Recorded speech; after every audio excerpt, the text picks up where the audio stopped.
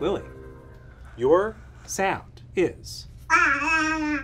Okay, that's a dumb sounding kid. That's a duck. That's a duck for sure. I think uh, if it were a smart, intelligent sounding kid, I wouldn't go for these. But I think that kid is freaking stupid, and you know, I would feed it crayons.